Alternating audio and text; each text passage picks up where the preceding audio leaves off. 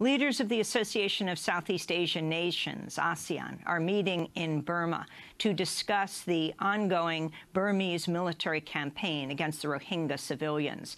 Amnesty International is accusing the Burmese military of murdering and raping and torturing Rohingya civilians in an ongoing campaign human rights group says may amount to crimes against humanity. At least 20,000 of the Rohingyas have been forced to flee into Bangladesh to escape the violence.